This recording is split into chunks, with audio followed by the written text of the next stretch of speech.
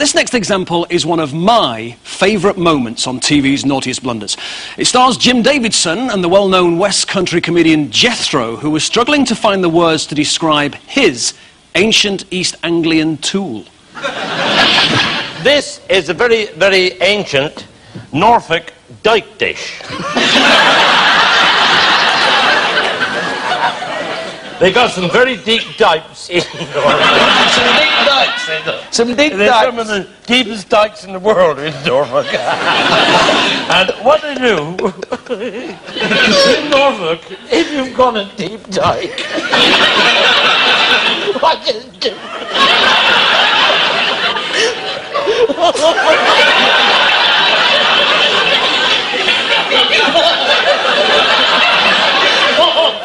yeah. It's a Norfolk dyke.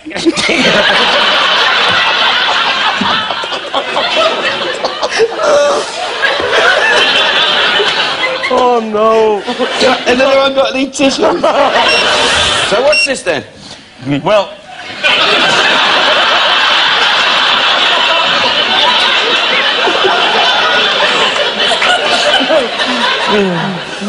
this is a device.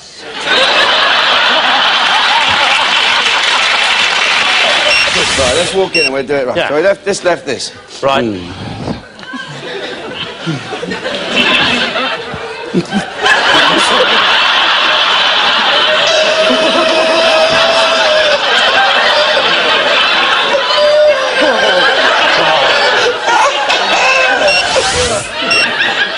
In uh, Norfolk, they got some exceptionally deep dikes. And this is for scooping out.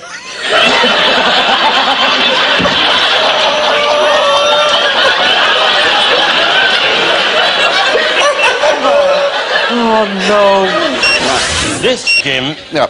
is a very long soup ladle. Do you know I thought it was?